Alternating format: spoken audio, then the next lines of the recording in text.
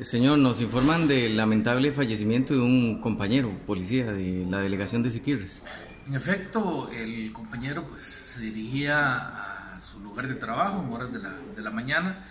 Eh, desgraciadamente, en su ruta sufre un percance automovilístico. Ahora tiene un accidente donde choca con, un tráiler y pues de ahí en adelante su condición eh, fue crítica. Hicimos toda una caravana para trasladarlo desde el sector eh, de Guapiles hacia, hacia San José, donde desgraciadamente en el centro médico este, pierde la vida. Lamentable noticia para la institución, para la familia.